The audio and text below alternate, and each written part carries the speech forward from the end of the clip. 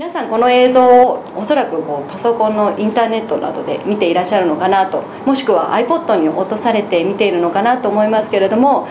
ま、これだけインターネットが普及した裏には実は検索エンジンの、え、高性能化なんていうのが言われていまして日本の中でも大きくは多分 Google とそれから Yahoo というものが使われてるかと思うんですけれども皆さんどっち派ですか？もう私はもう完全に Google 派でもう Google の大好きですが最低限バランスシート貸借対照表に載っている現金預金っていうところを見ていただいた時に現金預金も売上が伸びてる利益が伸びてるに合わせて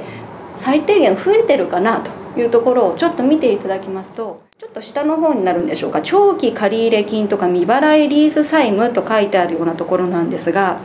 借入金ってという言葉が出てきたらそれはもちろん借金のことなんですけれども、まあ、借金があるかどうかっていうのは実は企業が潰れるか潰れないかに大きく影響する部分で借金がある企業とない企業で